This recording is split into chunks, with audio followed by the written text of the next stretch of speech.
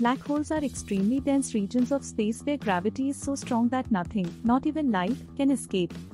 Black holes are formed when very massive stars die and their cores collapse under the force of gravity. The event horizon is the boundary around a black hole beyond which nothing can escape. The singularity is the point at the center of a black hole where the laws of physics as we know them break down. Black holes come in different sizes, from stellar black holes with masses a few times that of the Sun to supermassive black holes with masses of millions or billions of times that of the Sun. Black holes are invisible because they do not emit light.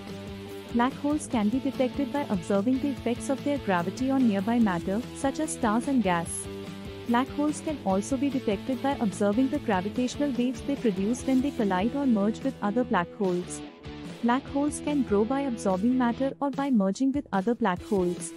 Black holes can spin, and the faster they spin, the more space and time they warp around them. Black holes can have powerful jets of matter and energy shooting out from their poles. Black holes can exist in binary systems where two black holes orbit each other. Black holes can affect the orbits of nearby stars and planets. Black holes can bend and magnify the light from distant objects, a phenomenon known as gravitational lensing.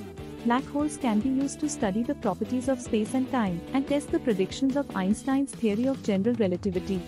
Black holes play a critical role in the evolution of galaxies and the structure of the universe. Black holes are surrounded by an accretion disk made of gas and dust that is being pulled in by the black hole's gravity. Black holes can have different hairs such as magnetic fields and charge. Black holes can be considered as one of the most efficient engines in the universe, converting mass into energy. Black holes are a topic of ongoing research in physics and astronomy, and many questions about their properties and behavior remain unanswered.